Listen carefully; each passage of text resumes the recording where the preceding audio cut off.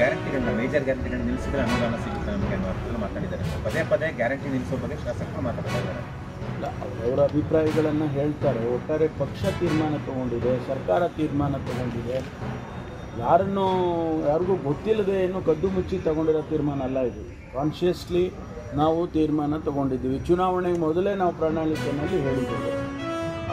ಅದರಿಂದ ಜನ ಜನ ಸಮುದಾಯ ಅದನ್ನು ಒಂದು ಪರ್ಸೆಂಟೇಜ್ ಒಂದು ಕೆಲವು ಪರ್ಸೆಂಟ್ ಆದರೂ ಕೂಡ ನಮ್ಮನ್ನು ಆ ವಿಚಾರದಲ್ಲಿ ನಂಬಿ ಮತ ಹಾಕಿದ್ದಾರೆ.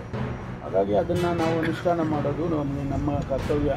ಅದನ್ನು ನಮ್ಮ ನಮ್ಮ ಅಭಿಪ್ರಾಯಗಳು ಬೇರೆ ಬೇರೆ ಇರ್ಬೋದು.